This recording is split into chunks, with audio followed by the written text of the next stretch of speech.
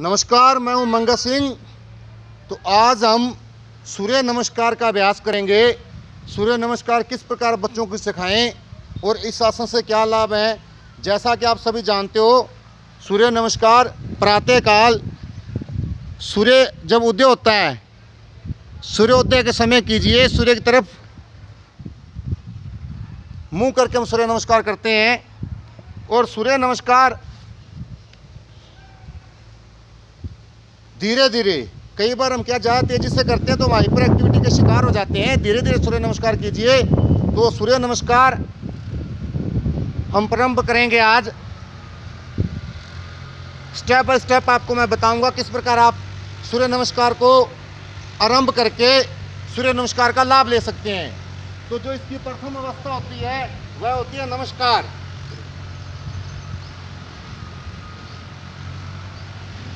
नमस्कार के बाद दूसरी अवस्था होगी हस्त आसन तो हाथों को लेके आएँगे, सामने उंगलियाँ खोल देंगे पूरी और सांस को लेते हुए।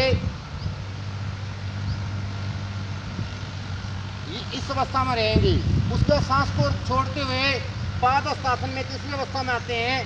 दोनों हाथ जो पैरों के पास रखते हैं। अब हमने सांस को छोड़ देना है। इसके बाद वापिस सांस को लेते हुए अंजनी आसन में आएँगे, एक पैर आगे, दूसरा पीछे। जो सामने का घुटना होता है, सामने वाले पैर का, इसको बिल्कुल सीधा रखते हैं। और जो पीछे वाला घुटना है, वो सीधा होगा, ज़मीन के साथ लगा होगा। तो आप अच्छे से देख सकते हो, ये इसकी चौथी अवस्था है। तो पांचवी अवस्था होगी, वो भी कुंभक दंड। सांस को रोक के रखना है और कुंभक दंड अवस्था में आना है।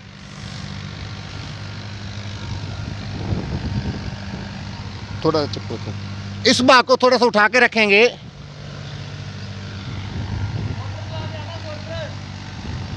कुंभक दंड अवस्था आएगी। इसके बाद जो अगली अवस्था होती है, वो होती है अष्टांग नमस्कार। तो पहले घुटनों को ज़मीन पर रखेंगे, फिर आगे से सीने का भाग ज़मीन पर लगाते हैं, और जो कूलों का भाग है, वो उठा रहेगा। तो ये छठी अवस्था इसकी, उसके बाद सातवीं अवस्था जो होती है, यहीं से हम अभी सांस को लेते हुए भुजंगासन में आते हैं।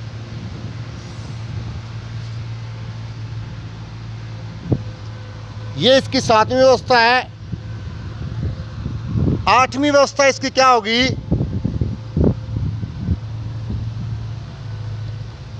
अधोमुख श्वानासन। तो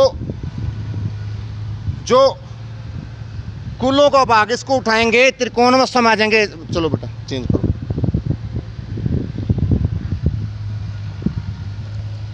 इस प्रकार अधोमुख श्वानासन में रहेंगे।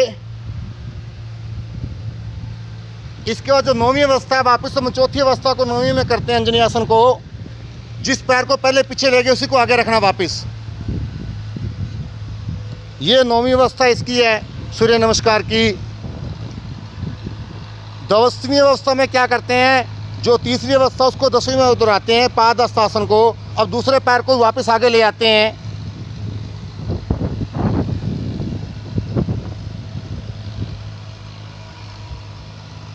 जो ग्यारहवीं अवस्था होगी, वो होगी हस्त उतानासन जो दूसरी अवस्था से इसको ग्यारहवीं में करेंगे वापस।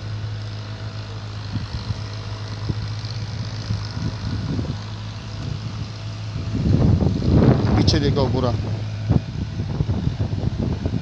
जो कमर अपने कमर का भाग झुकाना होता है, पीछे की तरफ़ मोड़ना होता है, घुटनों को नहीं झुकाना। है उसके बाद जो बारहवीं अवस्था है, पहली अवस्था को दोबारा बारहवीं में रिपीट करते हैं हम, नमस्कार। तो इस प्रकार आपका सूर्य नमस्कार है जो, वो पूर्ण होता है। तो इसी प्रकार आप कीजिए सब थोड़ा तेज़ करोगे सीखने के बाद में, ज़्यादा तेज़ करने से आप हाइपर एक्टिविटी की शिकार हो जाओगे। तो ये एक ऐसा आसन है, जिसको करने से आपको बहुत लाभ होता है। लेकिन ऐसा नहीं कि आपने सूर्य नमस्कार कर लिया तो बाकी कोई योगासनों का महत्व नहीं रहता, वो भी अपनी जगह महत्वपूर्ण है, ये भी अच्छा है।